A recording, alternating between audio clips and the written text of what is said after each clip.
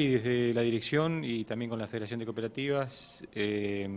en distintas actividades que se han tenido durante este año, eh, surgió esta inquietud y bueno, de generar algún espacio en donde los dirigentes, asesores este, y en este caso también va a haber eh, profesionales o conferencistas como para que den alguna introducción algún panorama general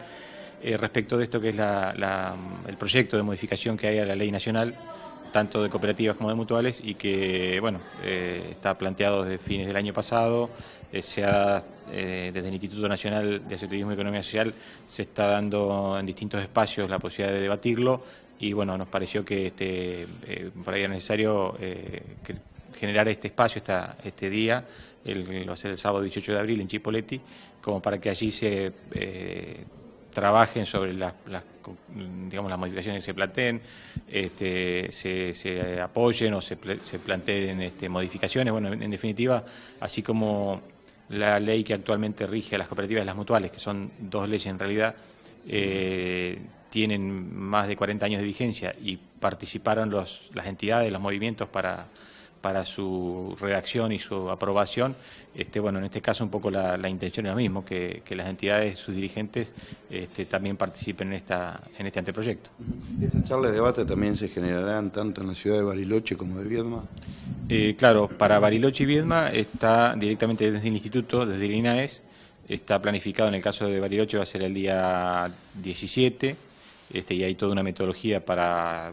eh, una, página como para este, el que quiera participar de oyente, que quiera hacer una presentación. Eh, en el caso de Viedma, la primera fecha y a confirmar es el 7 de mayo, pero este, seguramente, o sea, hasta el momento es, esa la que habían establecido. Ese también será un, espacio como para eh, hacer las presentaciones, debatir y que en, todo caso de esos dos espacios quien recolecta, por decirlo de alguna manera, las inquietudes más es ya directamente la comisión redactora. En el caso nuestro es un espacio más, eh, digamos, entre para las cooperativas, organizado por la dirección y por la Federación de Cooperativas de Río Negro. Ferroni, ¿cuáles son los principales temas que se están debatiendo? Y en general hay muchos porque, por ejemplo, este, la, discusión o el planteo, como te decía, actualmente son dos leyes, las que rigen a las entidades mutuales y a las cooperativas por separado. En este caso ya se planifica unificarlas.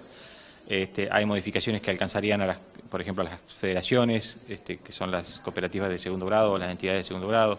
Eh, hay este, modificaciones respecto de las facultades de intervención del INAES. Hay, este, bueno, en realidad hay, hay, muchas, eh, incluso, eh, digamos, a,